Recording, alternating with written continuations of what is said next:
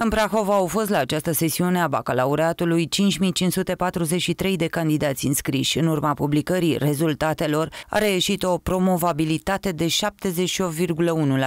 Au fost prezenți la probe 5415 elevi, 128 au fost absenți, iar unul a fost eliminat. Dintre cei care au susținut bacul au reușit 4224 de elevi, din care 1481 cu medii cuprinse între 9 și 999 este un singur elev cu media 10, fiind de la Colegiul de Artă Carmen Silva din Ploiești, specializarea arte plastice și decorative. În Prahova sunt două școli cu promovabilitate 100%, Colegiul Național Militar Breaza și Colegiul Național Nikita Stănescu din Ploiești, dar și o unitate de învățământ cu promovabilitate 0%, Liceul Tehnologic Mecanic Câmpina. La nivel național au fost obținute 39 de note de 10. Ligia Deca, ministrul educației, a prezentat rezultatele rezultatele înregistrate la examenul național de bacalaureat 2024, prima sesiune.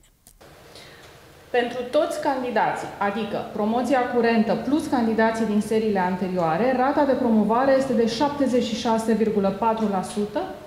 față de 72,8% în 2023 și 73,3% în anul 2022.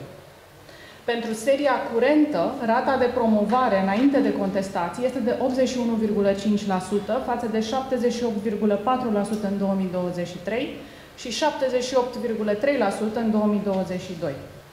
Dintre candidații din promoția curentă care au promovat examenul de bacalaureat, respectiv care au obținut media notelor peste 6, cei mai mulți se situează în tranșa de medii 8-8,99 adică 32,77%. 29,9% obținut medii între 9 și 10, 23,78%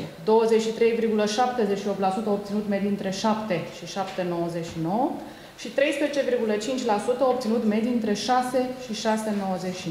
Afișarea rezultatelor finale după soluționarea contestațiilor este programată în data de 12 iulie.